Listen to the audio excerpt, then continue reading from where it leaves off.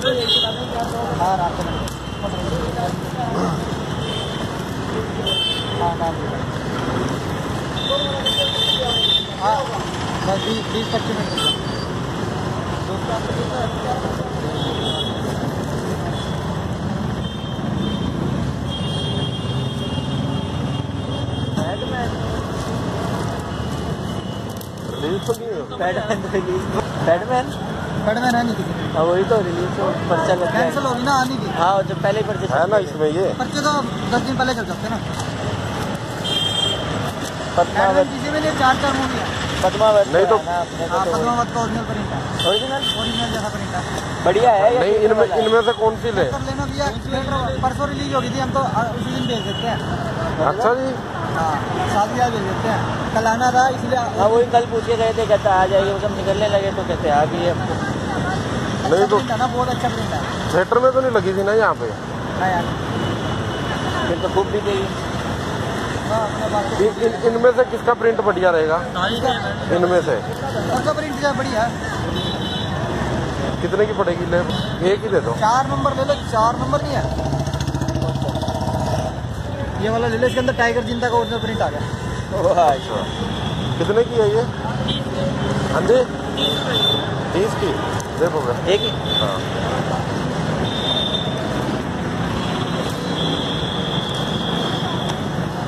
और तो नहीं कुछ है। नया video Hindi video Haryanvi video नया। लो भैया तीस रुपये। हिंदी वीडियो ठीक है भैया अच्छा भैया। अच्छा भैया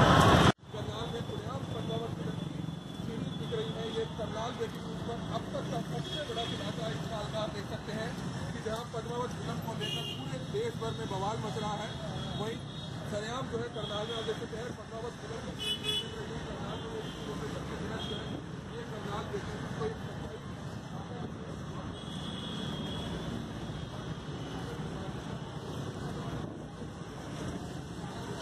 चाहेंगे लोग आप देख सकते हैं कि यहाँ पहुँचे हैं, लेकिन हम चाहेंगे कि सीढ़ी को आग लगाने से सर कुछ नहीं होगा। हमारी सिर्फ़ आपसे अपील है दूसरी सीडीज है। आप सिर्फ़ प्रशासन को ज्ञापन दें।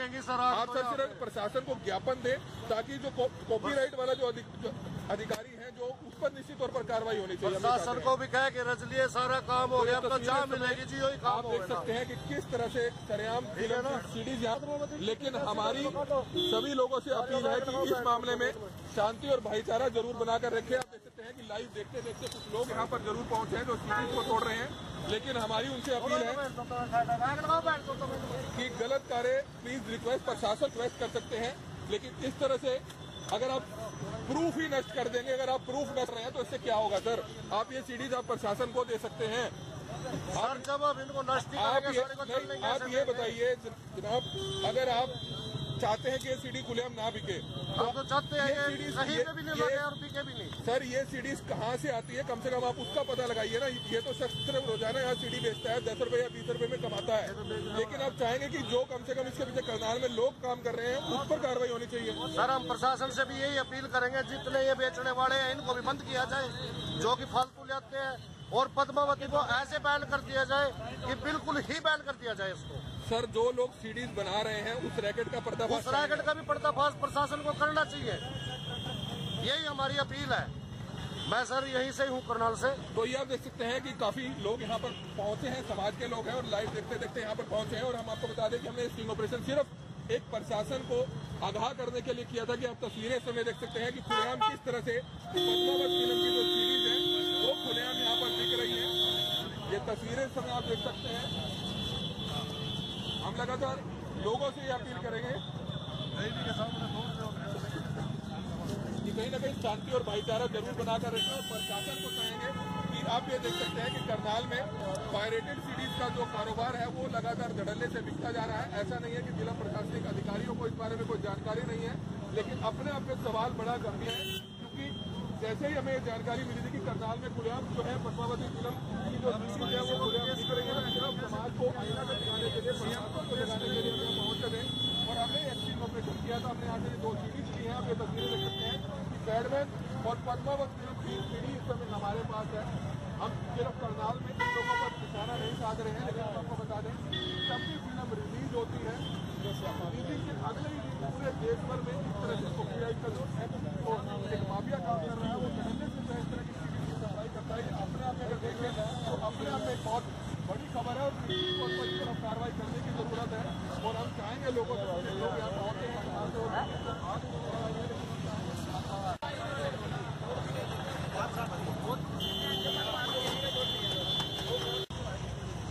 पद्मावती का सीट कितनी है ये आपके पास? देखो पद्मावती का सीट दिखाओ कितनी है?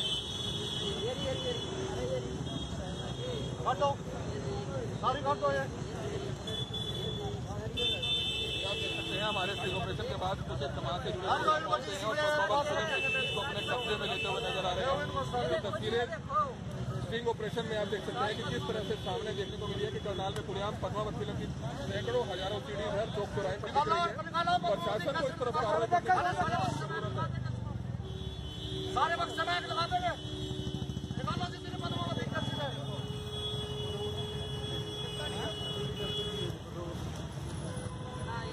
जितनी कैसे सारी निकाल दो भाई आप कोई लड़ाई झगड़ा नहीं चाहते पद्मावती कैसेट जितनी भी है सारी की सारी निकाल दो आप चलने नहीं देंगे यहाँ पे बिल्कुल भी इसको इसमें देखो ट्रक में कौन सी है भाई भाई साहब ये ट्रक भी खोल लो चेक कराओ ना अभी ये भी तो मतलब आप क्या काम करता हुआ नज़र आ रहा है प्रशासन आखिरकार इस तरफ़ कोई क्यों कार्रवाई नहीं करता है हालाँकि पुरानी फ़िल्मों के साथ साथ इस तरह कि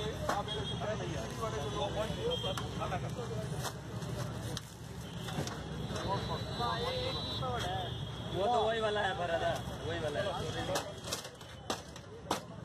जो हम आपको तस्वीरें दिखा रहे हैं, करनाल ब्रेकिंग न्यूज़ के स्टिंग ऑपरेशन की है, हमने आपको बताया कि करनाल में किस तरह से खुलेआम जो है पद्मावत फ़िल्म की सीरीज़ जो है खुलेआम बिक रही थी और हमारे स्टिंग ऑपरेशन में ये चीज़ साफ़ तौर पर कैद हो गई कि जो सीरीज़ की सप्लाई करने वाला शख्स था, वो भी यहाँ पर पहुँचता है और जो करनाल के लिबर्टी शोरूम के आसपास जो सीरीज़ बेचने वाले बैठे हैं उनको किस तरह से सीडीज की सप्लाई करता है, ये खुद हमारे कैमरे ने जो है कैद किया।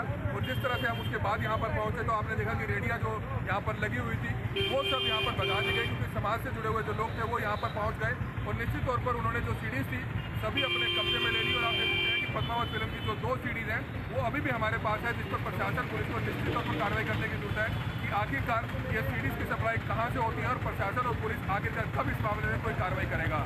कमल मिडा करनाल न्यूज़, करनाल।